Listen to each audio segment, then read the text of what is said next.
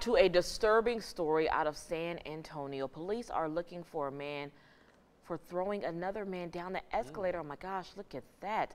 Well, you can see a man getting on that escalator when another man just came up from behind him and drags him down. The victim hit his head and had severe injuries all over his body. It is not clear if the woman that you see there is with the suspect or not.